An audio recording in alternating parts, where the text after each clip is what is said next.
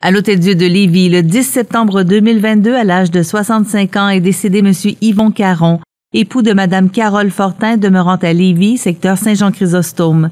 Originaire de Cap-Saint-Ignace, en Sagile, il était le fils de feu dame Marguerite Coulombe et de feu M. Armand Caron.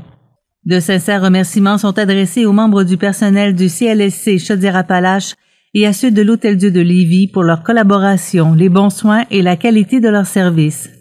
Vos témoignages de sympathie peuvent se traduire par un don à la Fondation du Rhin.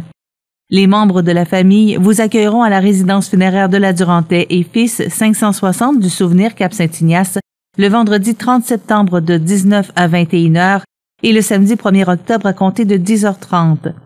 Les funérailles avec Eucharistie seront célébrées le samedi 1er octobre à 14h en l'église de Cap-Saint-Ignace et de là au crématorium. Ces cendres seront déposées ultérieurement au cimetière paroissial de Cap-Saint-Ignace.